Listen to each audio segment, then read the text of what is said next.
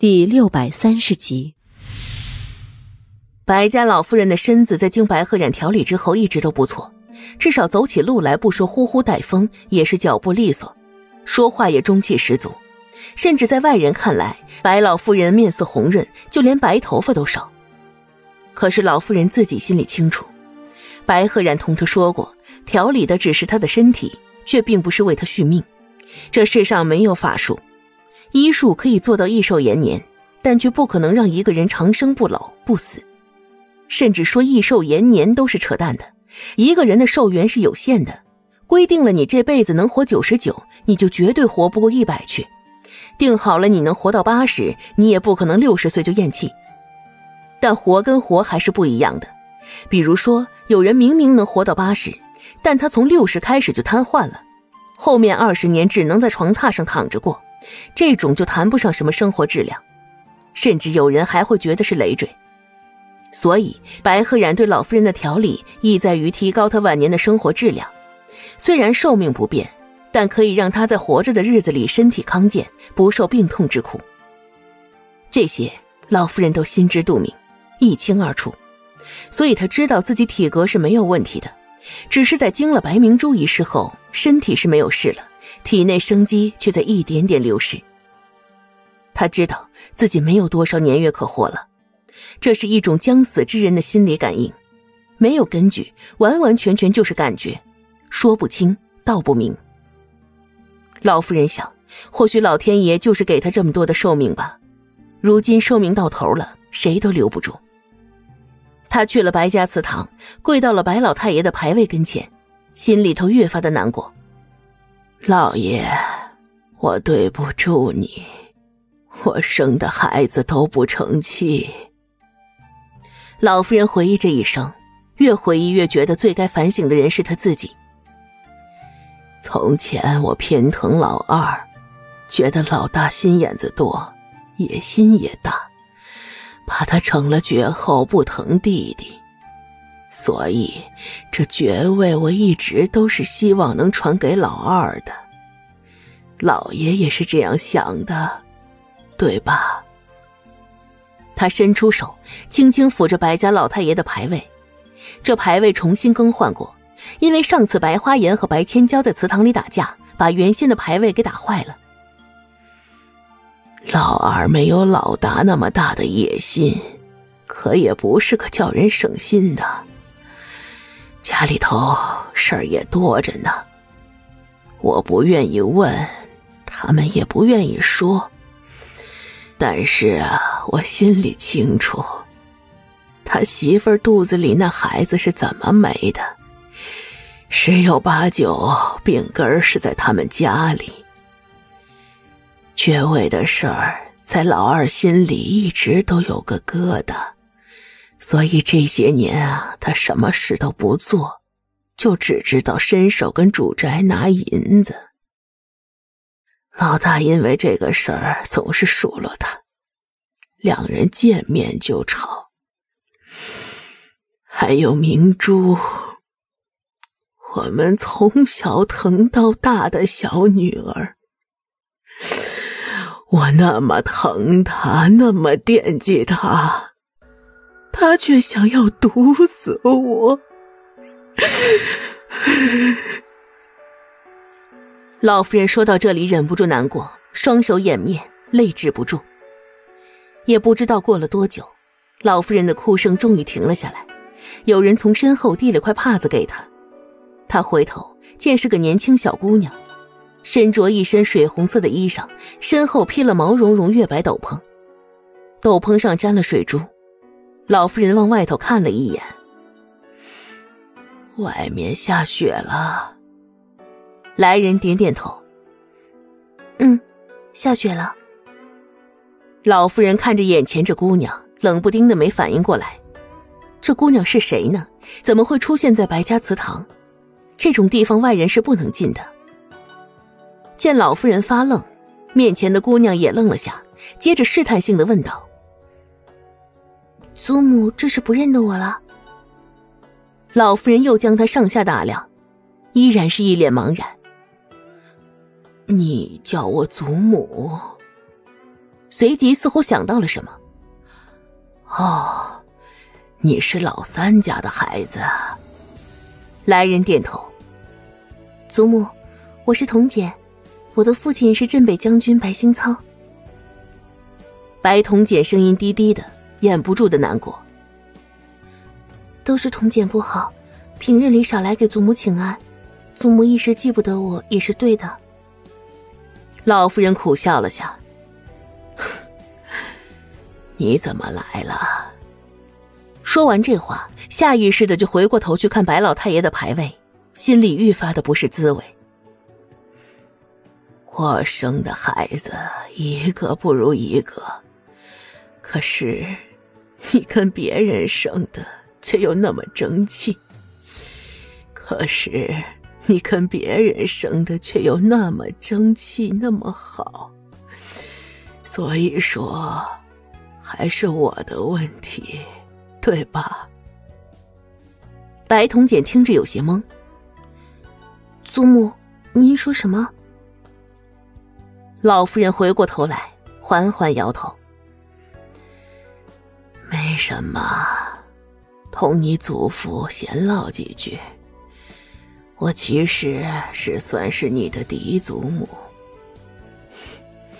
嫡祖母也是祖母。”白彤姐笑着说：“我父亲从来都没有只把您当嫡母一般，提起您时都是以母亲相称。”是打心里头把您当娘的。老夫人点点头。我知道，他的确知道，只是心里憋不过来这个劲儿。白兴仓的生母是白老太爷的妾，白老太爷虽说表面上看不出来多宠爱那个妾，但是他却知道，越是心里宠着，越是表面上不愿表露出来，那是一种保护，怕的是妾得圣宠，引妒太多，与自身福报无异。她虽不是那种善妒的主母，可说到底，她也是个女人。天底下没有女人会不在意自己丈夫纳进府里来那些所谓的她的姐妹。她也闹过，也使过手段，但她本性纯良，使得手段也上升不到迫害性命的高度。所以，白兴仓的母亲好好的活在文国公府，好好的给白家生下了唯一一位庶子。虽说也是早逝，但那也实在是他自己身体不济，同老夫人没有什么关系。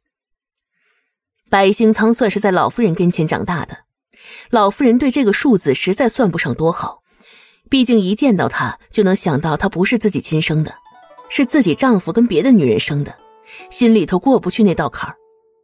但他又实在没有多苛待白兴仓，甚至还在老太爷临过世之际悄悄告诉白兴仓，如果可能就吩咐令过，别跟他大哥白兴言在一个屋檐底下生活，没有好处。后来白兴仓从了军。拼出来个镇北将军，也一直记着老夫人当初告诫他的话。他知道那不是老夫人诚心给他往外赶，而是老夫人太了解自己的大儿子，怕他留在国公府里会吃了亏，会着了白心言的道。白铜简扶着白老夫人从祠堂里走出来，天上飘着的雪花很大，一片一片的，但却并不急，天气也不是很冷。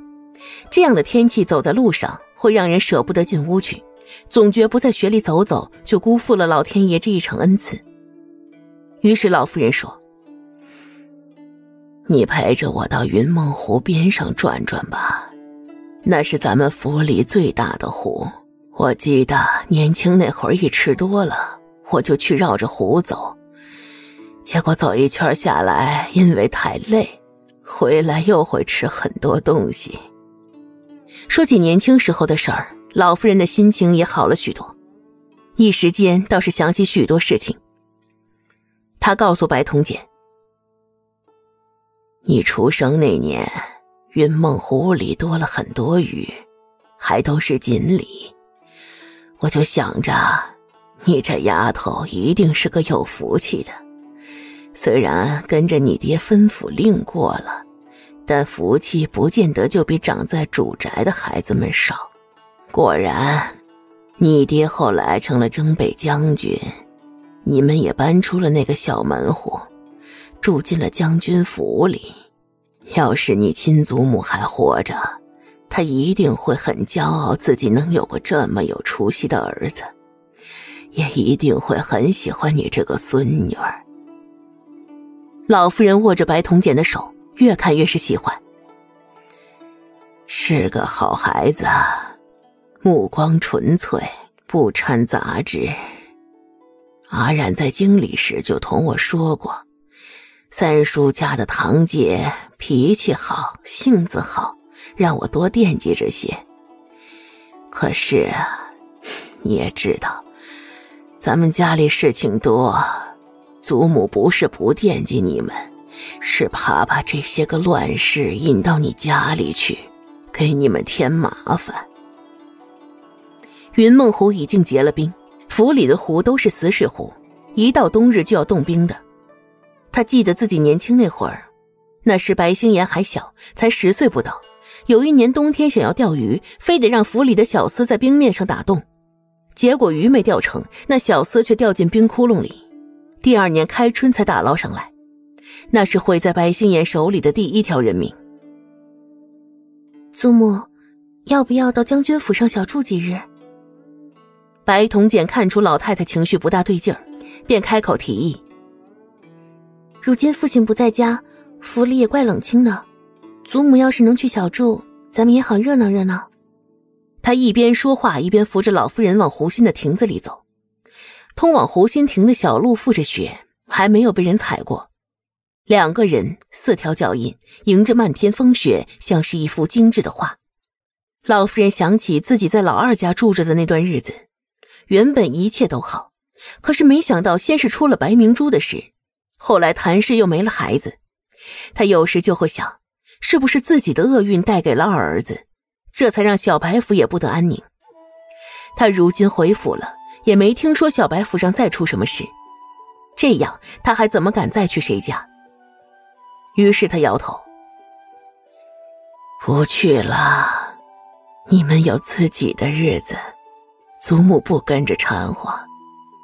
祖母，白铜姐扶着老夫人坐在椅子上，自己蹲在身前，双手搭在老夫人的膝头。祖母，是母亲让我来请您的。童简要嫁人了，要备的东西多，赶巧父亲又不在家，我跟母亲两个人实在是忙不过来，所以母亲想请您过去住一阵子，有些事情还想请祖母给童简做主。你要嫁人了？老夫人这才想起，是听说老三家的女儿定了亲，好像定的是老三军中副将的儿子，很是知根知底。哦，想起来了，是有这么回事。他有些为难，去不去呢？云梦湖边有一人顺着小路正往亭子这头小跑过来，老夫人轻叹了声：“唉，你看，住宅就是这般，一刻都不得消停。”